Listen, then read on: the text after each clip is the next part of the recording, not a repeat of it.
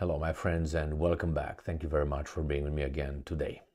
North Korea is preparing for war to fight against whom? Uh, the United States of America. Not necessarily South Korea, because you know, you know who's who, what's what. Therefore, it's like you have a broken pipe in the basement. You don't just use squeegees and uh, towels and you know take the water out. You go and turn off uh, the I know the water coming from the city or whatever you got it, and then you take care of the pipe, and then you start uh, doing what you do best: sleep. Just kidding. But anyway, you go to the source, and the source here here is not uh, South Korea. It is the United States of America. It is uh, Al Capone who brings uh, freedom and democracy around the globe. So let's look at two articles. One coming from Sputnik and the other one coming from uh, Reuters, stating that here it is. Kim Jong Un calls for stepping up war preparations over US confrontation moves.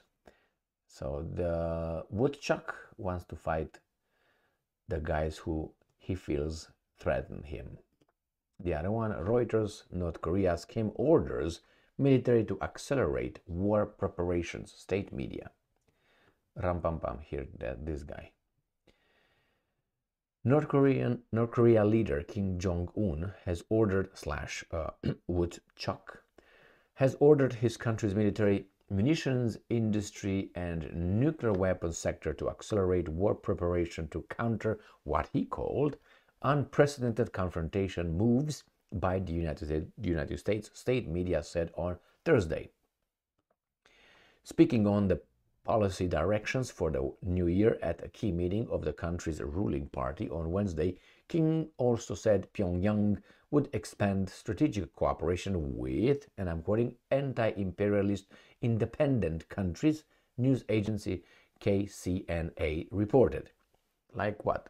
Iran, Cuba, Venezuela, Russia, China, Brazil, India, this is just a number of countries that seem to be independent and free and really sovereign.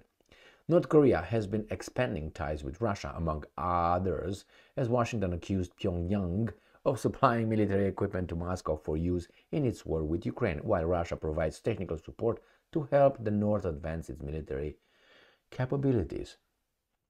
And I'm quoting, he, Kim, set forth the mili- militant task for the People's Army and the munitions industry, nuclear weapons, and civil defense sectors to further accelerate the war preparations, KCNA said. On Thursday, South Korean President Yoon Suk Yeol visited a frontline military unit in the eastern country county of Yeoncheon to inspect its defense posture and called for an immediate retaliation if there was any provocation from North Korea. Well, South Korea, you are under occupation uh. I urge you to immediately and firmly crush the enemy, enemy's will for a provocation on the spot, Yoon told troops. If you wouldn't have thousands of American troops on your territory, supposedly just uh, helping you because you're allied, uh, then I think a lot of things could um, be solved in the Korean Peninsula. That's what I think.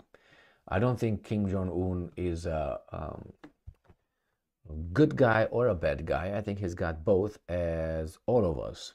It's just a proportion. So when you see the South Korean president coming and saying that, I would ask him, why don't you take your garbage out, which is uh, those uh, Al Capone out? No, he's not going to take the garbage out because probably that's the way he stays in power due to that guy. Otherwise, the Kim Jong Un will come and take over the entire peninsula. This is the story we're supposed to.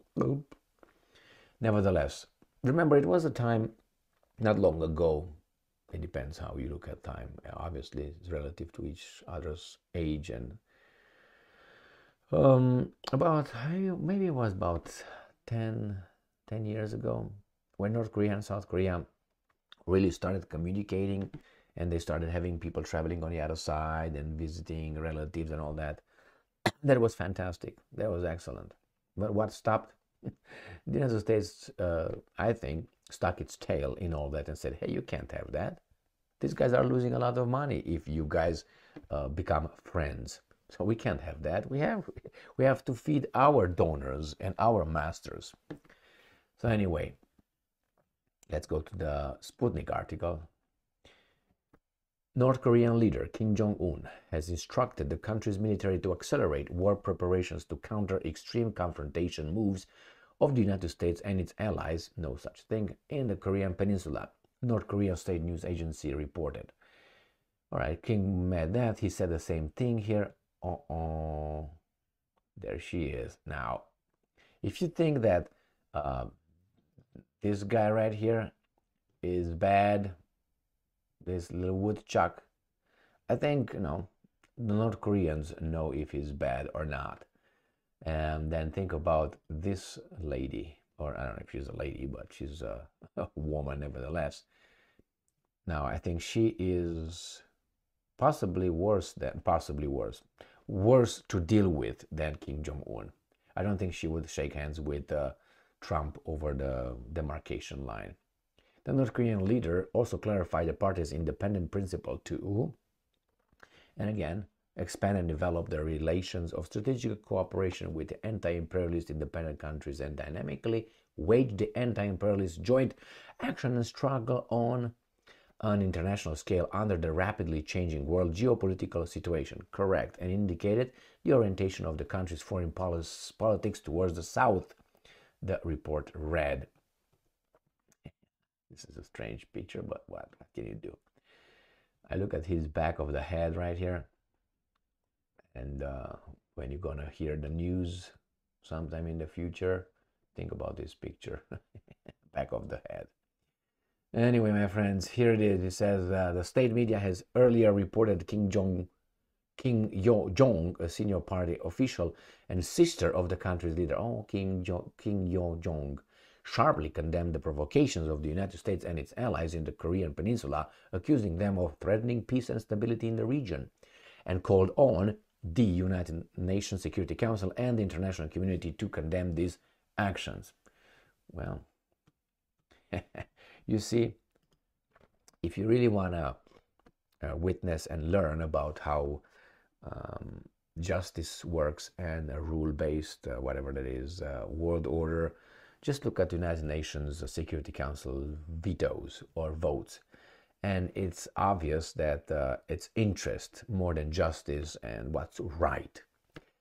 Look at the last uh, vetoes, US's vetoes, and not only US, but US is just uh, too obvious, too obvious to see that he's on one side of the, you know, the aisle, together with some really, really not even his or I'm talking about Al Capone, his uh, regular vassal states He's got some, I don't even know, those are little territories owned by some gangsters that receive some aid from us.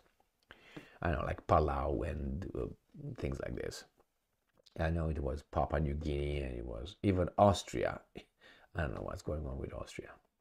But uh, why? Because sometimes he's on this side, sometimes on this side, and think, Jesus Christ, what's wrong with you? Do you have any guilt or something? I don't know. I don't know. I can't say. So here it is. Kim Jong Un prepares for war. Do you think he's going to do it? I think he's going to do it 10 times 10 times faster than Putin would do it and probably 5 times faster than um, Xi Jinping will do it. So it's Kim Jong Un, no, it's uh, Kim Yong Jong, whatever her name is. That woman would do it uh, 50 times faster than anyone else. the next in line would be, I think, uh, his uh, her brother the Butchak, would do it, and then the next one would be, I think, China, and the next one is going. Ah, well, I should start over. Let's include the United States of America and Israel in that. I think uh, would be Kim Yong Jong, whatever her name is, that uh, the woodchuck sister would be there on the top. The second, the second one would be, I think, Israel the third one, oh, they don't have nuclear weapons. Oh, my bad. And then the third one is going to be the United States of America. And the United States of America could be neck in neck if needed. They will not even blink to drop nuclear weapons on anyone they feel uh, uh, that to protect us. That's how I see it. They already dropped two. So when they say uh, Putin is going to attack uh, the Europe and the United States of America because once you start one time, you do the next and so on. Uh, then what should we expect from Al Capone? it, it, it, bombed Yugoslavia, then went to uh, Iraq, then Afghanistan, then Libya, then Syria, then now Iran, then um, what um, Taipei with its uh, whatever. It's all and the woodchuck. So if you go by the same logic, the United States is way ahead of everybody else. And if you go, hey, if he committed a crime once, he's going to commit again. Well, we got one who committed a crime twice, so that means it's much easier to do it a third time. You know, like people who do all kind of other hanky panky. Do it once, makes it easier for the second time. The third one is like second nature. Yeah, so that's the way I see things. What can you do? Mm. Stay strong, stay smart, look for the truth, and be just.